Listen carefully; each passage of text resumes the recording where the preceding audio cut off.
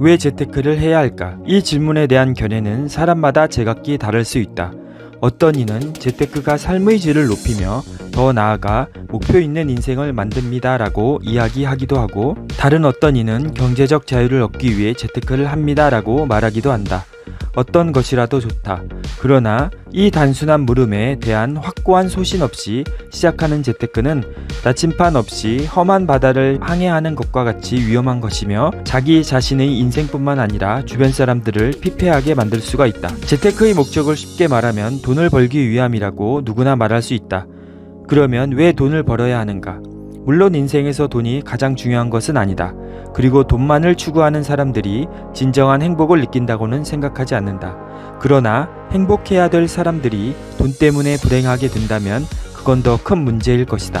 실제로 1997년 IMF 외환위기 때나 2008년 국제금융위기 때 돈 때문에 해체되는 가정들을 우리는 너무나 많이 보아왔다.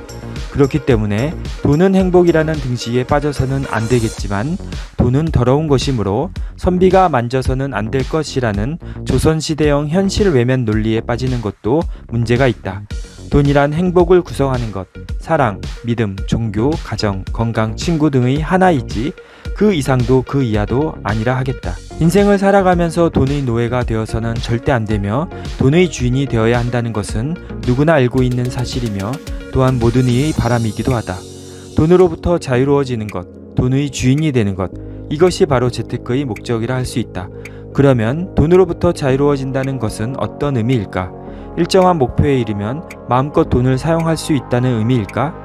돈으로부터 자유로워진다는 것은 단순히 그런 의미만은 아니다. 경제적 자유란 말 그대로 자유를 얻는 것이다. 먹고 살기 위해 아무것도 하지 않아도 되는 자유. 본인이 하고 싶은 무엇이라도 할 수 있는 자유를 말한다. 쉽게 말해 심신에 지친 본인을 위해 몇 달간 해외여행을 다녀와도 생계를 포함하여 현재의 생활 수준을 유지하는데 아무런 지장이 없는 경제를 경제적 자유라 할 수 있다. 경제적 자유란 본인이 모아둔 돈 또는 임대 수입이나 금융 수입 등 본인이 만들어 놓은 시스템에서 생활비 이상의 수입이 계속 조달되는 상황을 말한다. 이 책을 접한 많은 사람이 경제적 자유를 얻기를 진심으로 바란다. 아기곰 안녕하세요. 세상의 모든 책들입니다. 이번 시간에는 아기곰의 재테크 불변의 법칙 전면 개정판을 리뷰하려고 합니다. 저도 재테크 처음 시작할 때 이 책을 읽고서 많은 도움을 얻은 기억이 있습니다. 그러면은 간단히 목차를 살펴보겠습니다. 1장 재테크 성공을 위한 12가지 법칙, 2장 탄탄한 재테크를 위한 상식, 3장 부동산 투자를 위한 지침, 총 3장으로 나누어져 있는데요. 이번 시간에는 제가 재테크 성공을 위한 12가지 법칙에 대해서 자세히 살펴보려고 합니다. 재테크 성공을 위한 12가지 법칙 1. 뚜렷하지만 실현 가능한 목표를 세워라. 인생을 살면서 삶의 목표를 가지고 일을 추진하는 것과 아무런 목표 없이 일을 하는 것은 결과에서 크나큰 차이를 보인다. 모든 일에서 명확하고 구체적인 목표를 세우는 것이 매우 중요하다. 그러면 과연 어떤 목표를 세우는 것이 좋은가 살펴보기로 하자. 목표 자체는 크게 가지는 것이 좋다. 하지만 처음 시작하는 단계에서 목표를 너무 크게 세우면 문제가 발생할 수도 있다. 자기 능력에 비해 너무 과도한 목표나 오랜 시간을 필요로 하는 목표 달성을 추구하면 처음에는 의욕에 차서 시작하지만 나중에는 제풀에 꺾이는 수가 많기 때문이다. 그럼 어떻게 해야 할까? 달성하기 어려운 목표를 무리하게 세우는 것보다는 우선 내가 할 수 있는 작은 것부터 실천하는 것이 성공의 지름길이다. 예를 들어 누구든 현금 1억 원이 있으면 좋겠다고 생각해 본 적이 있을 것이다. 그러나 1억 원을 단기간에 모으는 것은 결코 쉽지 않은 일이다. 특히 사회초년생이 처음부터 목표를 1억 원으로 잡는다면 10중 8구 실패하기 쉽다. 실패하는 원인에는 지쳐서 포기한다는 이유 이외에도 또 다른 이유가 있다. 100만 원을 모으는 사람에게 1만 원은 1%나 되는 소중한 돈이므로 1만 원의 지출에도 심사숙고를 하게 되지만 처음부터 1억 원을 목표로 하는 사람에게는 0.01%밖에 되지 않은 적은 돈이니 쉽게 지출하게 되어 목표에서 그만큼 멀어지는 결과가 된다. 그러므로 우선 1000만 원을 먼저 모아보자. 1000만 원을 모을 수 있는 사람이 1억 원도 모을 수 있고 1억 원을 모을 수 있는 사람이 10억 원도 모을 수 있는 법이다. 본인의 힘으로 무언가 해내기 시작하면 그 다음은 쉽다. 재테크 잘해서 재벌되라는 것이 아니다. 보다 나은 미래를 위해 준비하라는 것이다. 그러기 위해 중요한 것은 자신이 확실하게 실천할 수 있는 목표를 세우고 반드시 달성하는 것이다. 작은 목표라도 반드시 달성할 때 자기 자신에 대한 신뢰, 즉 자신감이 쌓이는 것이다. 재테크 법칙 1. 확실한 목표 설정은 재테크의 첫걸음. 뚜렷하지만 실현 가능한 목표를 세워라. 그리고 반드시 성취하라. 2. 목표 달성의 즐거움을 만끽하라. 목표 달성의 즐거움을 맛보는 것은 재테크 성공 전략의 가장 중요한 부분이다. 돈을 모으지 못하는 사람들은 돈은 있다가도 없는 것이고 없다가도 있는 것이다 라는 말로 자신을 합리화시키고는 한다. 맞는 말일 수도 있다. 그러나 문제의 핵심은 돈이라는 그 자체에 있는 것이 아니고 목표를 세우고 그것을 달성했느냐 못했느냐에 있는 것이다. 작은 것이라도 자기 여건에 맞는 목표를 세우고 그것을 달성하기 위해 일정 기간 동안 최선을 다해보자.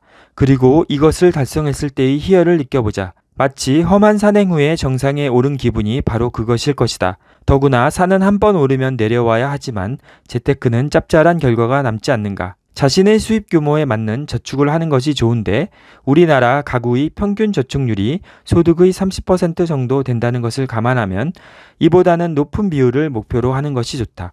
특히 결혼하기 전에는 수입의 50% 이상을 저축한다는 자세로 하는 것이 좋다.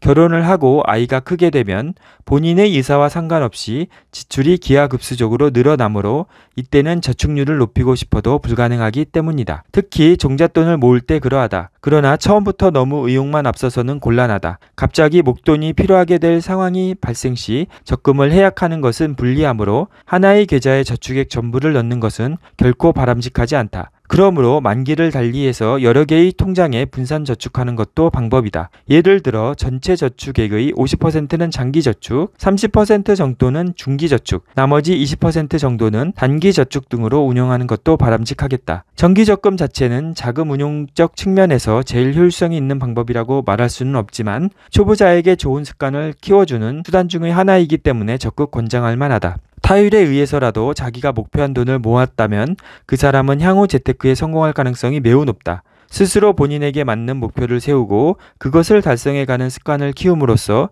재테크는 성공할 수 있으며 이 과정에서 목표 달성이라는 즐거움을 맛보아야 한다. 즐거움을 느끼지 못하는 재테크는 고통 그 자체일 뿐만 아니라 스스로 지쳐 오래 가지도 못하게 된다. 세상의 모든 일이 스스로 즐거움을 느껴야 능률이 오르듯이 재테크도 마찬가지다. 재테크 법칙 2. 목표 달성의 즐거움을 만끽하라. 성취감에 대한 즐거움과 성취 결과에 대한 뿌듯함을 함께 누려보라. 재테크는 기쁨을 두 배로 준다. 3. 구체적인 수치와 일정으로 비전을 제시하라. 농부에게 수확의 계절인 가을만이 있다면 얼마나 좋을까. 그러나 여름의 땀방울이 없다면 가을의 수확은 기대할 수 없는 것이 현실이다. 재테크도 마찬가지다. 대부분의 과정은 지루하고 힘들지만 우리가 얻게 될 열매를 상상할 때 그 과정도 인내할 수 있게 되는 것이다. 나간중의 삼국지연의를 보면 조조가 부하를 이끌고 행군하는 대목이 나온다. 모두가 목이 말라 사기가 떨어지고 불만이 팽배해졌을 때 조조는 저 산 너머에 새콤한 살구밭이 있다는 말로 군사들을 다시 걷게 만들었다. 새콤한 살구를 먹는 상상이 갈증에 지친 병사들에게는 바로 비전이었다. 재테크에서도 이러한 비전을 자기 자신이나 가족들에게 구체적으로 제시하는 것이 좋다. 단순히 부자가 되자라는 구호로는 설득력이 떨어진다. 비전 제시의 예는 각 개인의 가치관에 따라 다를 것이다. 가정적인 사람은 향후 몇 년 안에 부부 명의의 집을 마련하고 그 후 몇 년 안에는 몇 평형의 아파트를 마련하여 온 가족이 편안하게 살겠다는 형태로 나타날 수 있고 여행을 즐기는 사람은 몇 년마다 잉카의 마추픽추나 인도양의 몰디브, 아프리카의 세렝게티로 사랑하는 이와 여행을 가겠다는 계획의 형태로 나타날 수도 있다. 어떤 것이든 좋다. 그러나 어떤 것이든 그냥 잘 살고 싶다라는 막연한 희망보다는 구체적인 수치와 일정으로 비전을 제시하는 것이 좋다. 꿈이 명확할수록 그 꿈이 실현될 가능성도 크기 때문이다. 갈 곳이 확실하다면 발걸음도 힘찰 것이다. 재테크 법칙 3. 구체적인 수치와 일정으로 비전을 제시하라.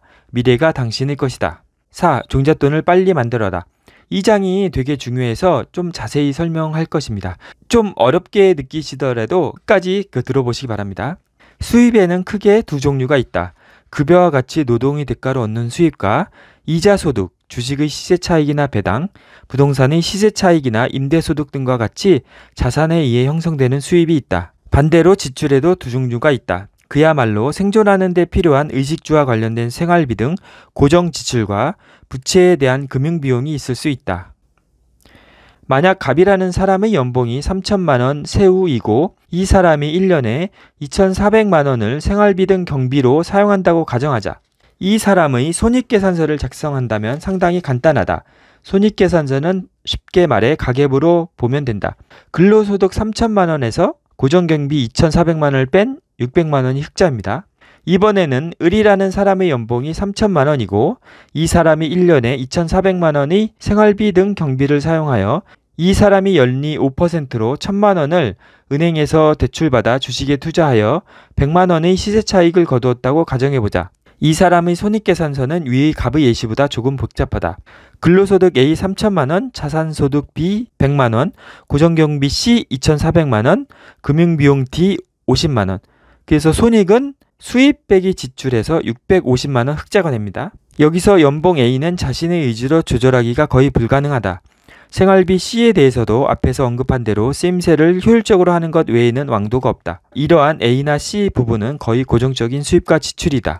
그러나 나머지 B, D 부분에 대해서는 자본 운영에 따라 그 결과가 많이 다르다. 이 부분을 어떻게 운영하느냐에 따라 전체 손익이 달라진다. 보통 준상층의 경우 20, 30대에서는 A와 같은 노동에 의한 수입이 B와 같은 자산에 의한 수입보다 많지만 자본 축적이 된 50에서 60대, 특히 60대 이후에는 이 비율이 역전하게 된다. 그러나 자산 축적에 실패하면 노년까지 A와 같은 노동에 의한 수입에 의존해야 되는데 이때 실직이나 퇴직 등으로 인해 이 수입이 급속히 줄어들게 되는 경우에 문제가 된다. 부자가 계속 부자가 되는 이유는 B와 같은 자산 수입이 언제나 지출을 초과하는 구조를 가졌기 때문이다.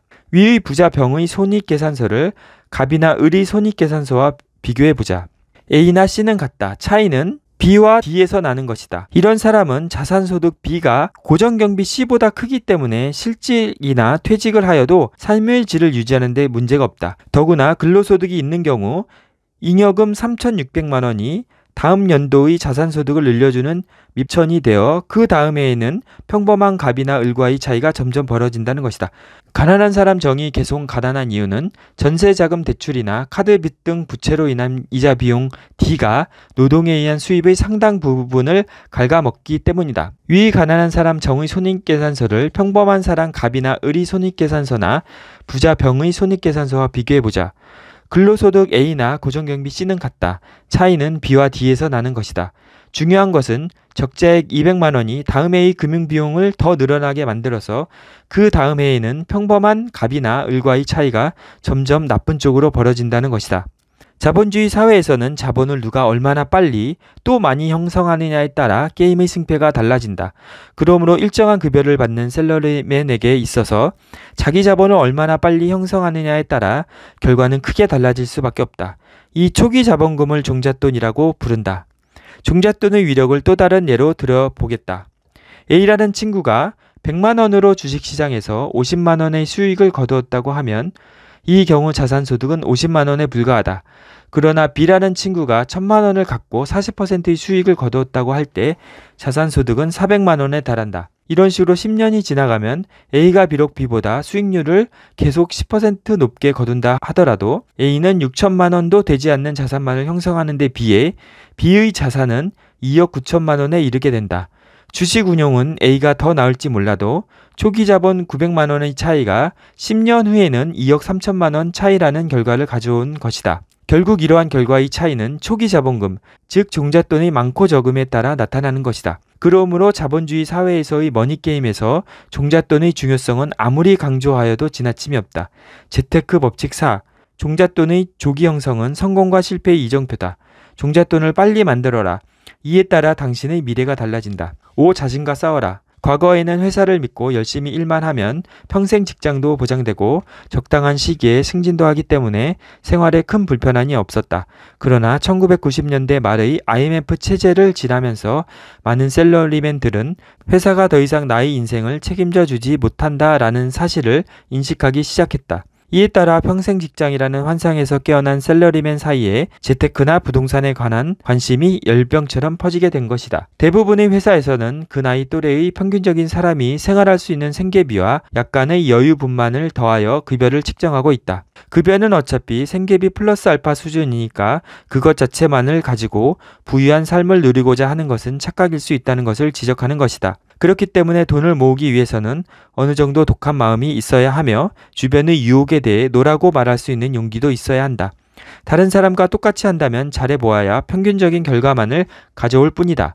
우리 주변에는 유명 브랜드 옷만을 입고 외식도 자주 하며 넓은 집에 살고 좋은 승용차를 끌고 다니면서도 왜 나에게는 돈이 모이지 않는 것이야 라고 한탄하는 사람들이 의외로 많다. 미래를 위해 현재의 불편함을 간수하고 이겨내는 것도 인간만이 할 수 있는 것이다. 자기와의 싸움에서 이길 수 없는 사람이 돈을 모으기란 낙타가 바늘구멍에 들어가는 것과 같다.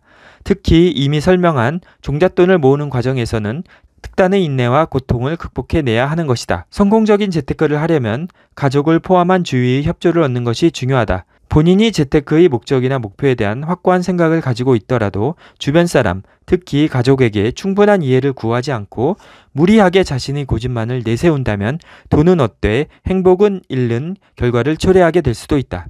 주변 사람들이 협조를 구하는 가장 좋은 방법은 끊임없는 대화와 솔선수범이다. 그러나 실행 과정에서 자신에게는 관대하고 타인에게는 엄격한 기준을 적용한다면 설득력을 잃게 된다.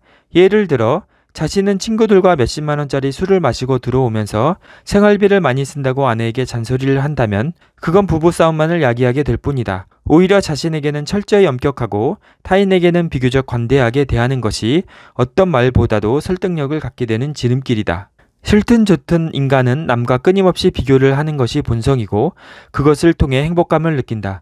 행복은 상대적인 것이기 때문이다. 그런데 행복해지려면 어떻게 해야 할까? 속물적인 표현이지만 남들보다 더 잘 살면 된다. 그러면 남들보다 더 잘 살려면 어찌 해야 될까? 결국 남들보다 더 잘 살려면 남들보다 뛰어난 능력을 가지거나 남들보다 더 노력하거나 남들보다 더 절약하는 방법밖에 없다. 남들 하는 것 다 하고 남보다 더 잘 살려고 하는 것은 욕심에 불과하다. 사업에 수완을 보이든지 자기 분야에서 두각을 나타내든지 투자에 성공하든지 절약을 통해 종잣돈을 모으든지 어떤 것이든 처음에는 고통이 따를 수밖에 없다. 세상은 변했다. 하지만 끊임없이 남과 비교하려는 인간의 본성은 변하지 않았기 때문에 본인이 행복해지려면 그에 상응하는 노력을 해야 한다.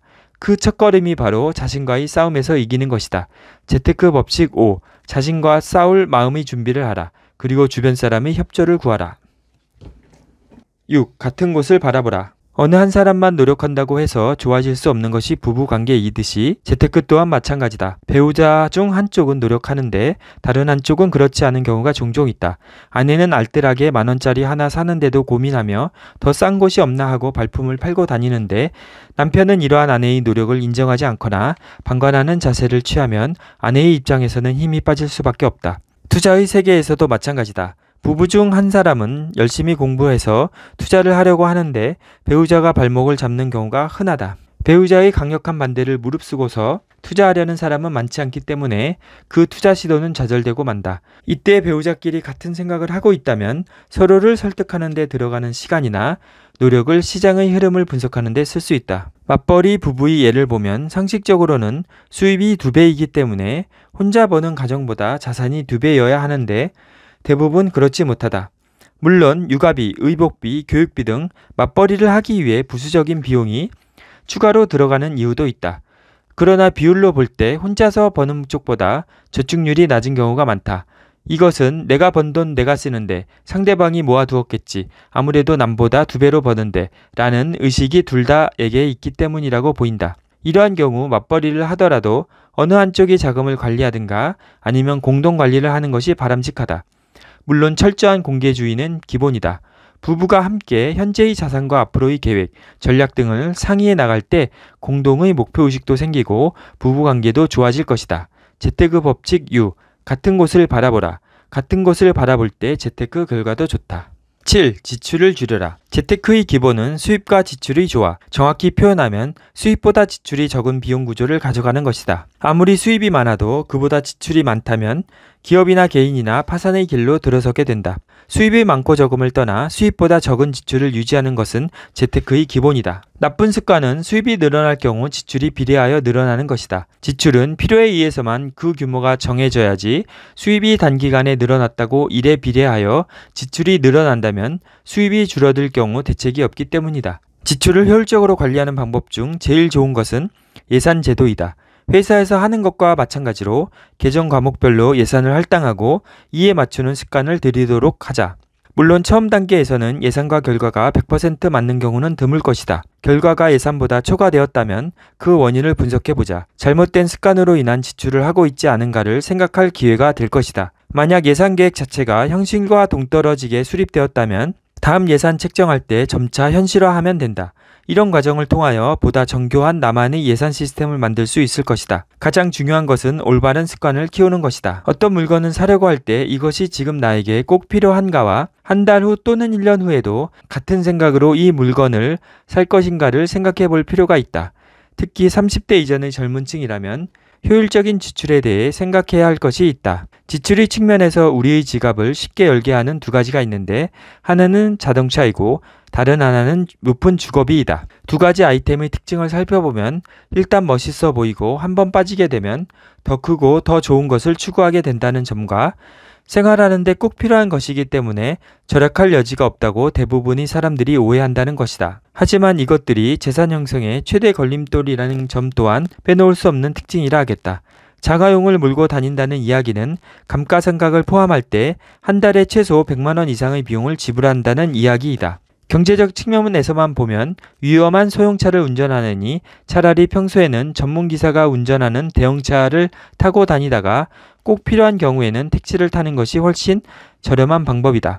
주거비도 마찬가지다. 실제로 우리에게 필요한 집은 전용 면적 기준으로 1인당 20제곱미터씩이면 충분하다. 하지만 가족 수에 비해 너무 넓은 집에 사는 것도 가소비다. 새 아파트도 마찬가지다. 누구든 낡은 아파트에서 신혼을 시작하고 싶은 부분은 없을 것이다. 그러나 새 아파트는 수요가 많기 때문에 임대료 또한 높다. 자동차와 주거비 이 두 가지에 대해서만 현명한 선택을 한다면 적게는 월 몇십만 원에서 많게는 월 몇백만 원의 비용을 아낄 수 있는 것이다. 자동차도 없이 낡고 좁은 집에서 사는 게 도대체가 사람 사는 거냐고 반문할 수도 있다. 그러면 어디에서 절약할까? 옛날처럼 수돗물 조금 아낀다고 부자가 될 것 같은가? 콩나물 사는 돈 줄인다고 큰 돈이 될 것 같은가? 어느 직장이건 펑펑 쓸 만큼 월급을 주지는 않는다. 앞서 이야기한 대로 종잣돈을 만들기까지는 특단의 절약을 해야 하는데 가장 효과가 큰 것이 자동차 관련 비용과 주거비를 줄이는 것이라는 말이다.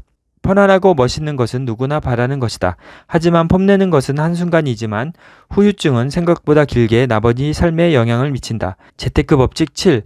지출을 줄여라. 수입보다 지출을 줄이는 것이 재테크의 기본이다. 8. 재테크는 시간과 함께한다. 돈을 모으는 데는 때가 있다. 미혼일 때는 수입이 상대적으로 적기 때문에 절대 저축액이 많지는 않을 것이다. 그러나 저축률은 그 어느 때보다 높아야 할 가장 중요한 시기이다. 종잣돈 형성과 좋은 습관 들이기라는 두 마리 토끼를 이때 잡아야 한다. 이때가 향후 재테크 방향을 크게 좌우하게 된다. 두 번째 중요한 시기가 결혼해서 아기를 갖기 전까지의 시기이다. 신혼이 달콤함 속에 여행도 다니고 싶고 맛있는 외식도 매일 하고 싶겠지만 이 시기 동안 어느 정도의 틀을 닦아놓지 않으면 나머지 인생이 힘들어진다. 미혼 때와 신혼의 시기를 놓치게 되면 마지막 기회가 남아있다. 아이 출산 후 아이가 초등학교 저학년 때까지의 기간이다. 식구가 늘면 예전보다 생활비가 더 들어가기는 하지만 아이가 아직 어리다면 사교육비가 많이 들어가지는 않는다. 더구나 큰 집이나 학군이 좋은 집이 필요하지 않기 때문에 주거비도 아직까지는 많이 들지 않는다. 이때는 저축도 늘리고 호재가 있는 지역으로 옮겨가면서 자산을 늘리는데 노력해야 하는 기간이다. 결혼부터 자녀가 초등학교 저학년이 될 때까지의 10년 정도 기간이 바로 재테크의 골든타임이다. 현실적으로 돈을 벌 수 있는 시기는 사회생활을 시작한 후 30년도 안 되는 경우가 많다. 그런데 은퇴 후에도 30년 정도를 더 살아야 한다. 결국 경제 활동을 하는 30년 동안 60년간 살아야 할 생활비를 벌어 놓아야 한다는 뜻이 된다.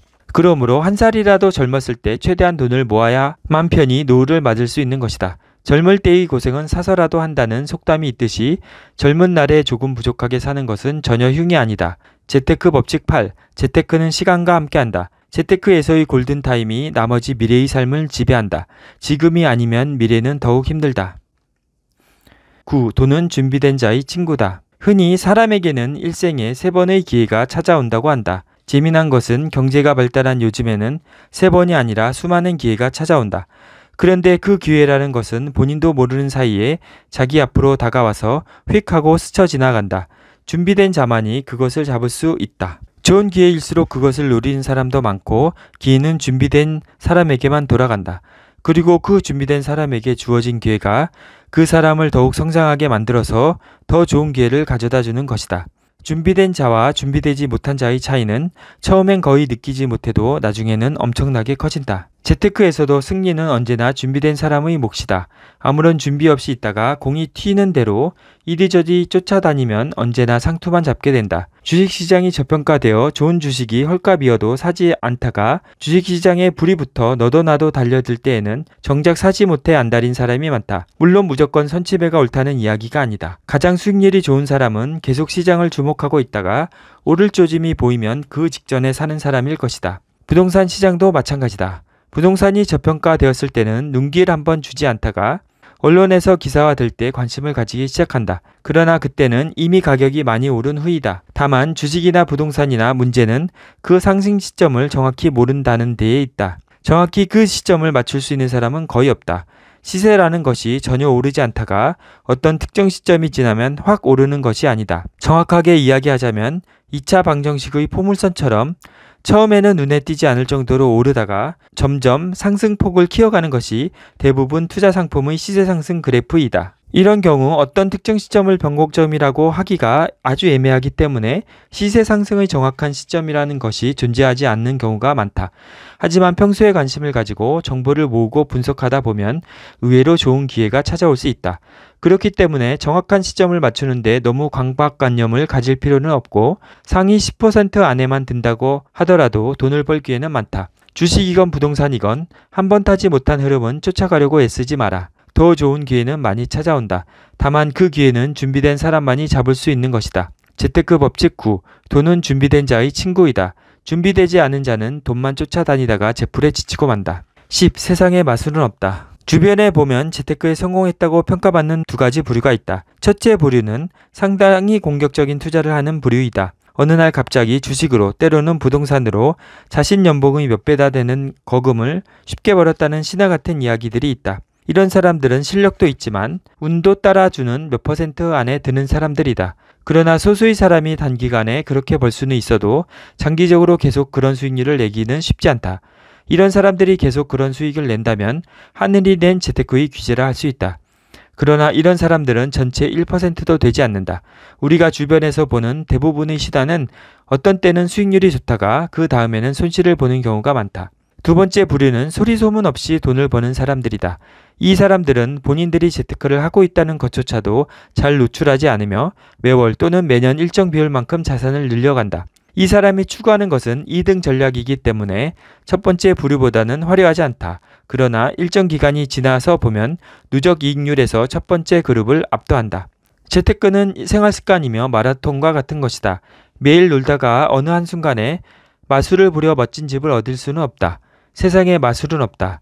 마술로 지은 집은 마술이 풀린 후에는 늙은 호박으로 돌아가기 때문이다.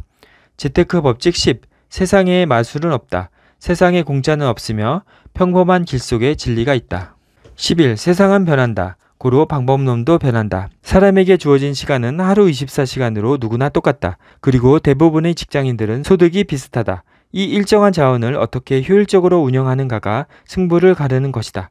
그럼 재테크의 방법론에 있어서 왕도란 무엇인가? 목돈을 만들기 전까지는 은행 저축을 이용하는 것이 가장 안전하고 확실한 방법이다. 하지만 일단 어느 정도 자산이 형성되면 은행 저축만으로는 그 자산을 운용하는 것은 매우 비효율적인 결정이다. 그럼 주식을 사놓으면 어떨까? 그것도 좋은 방법이다. 종목만 잘 선택하면 몇백 가지 원금을 뻥튀기 할 수도 있다.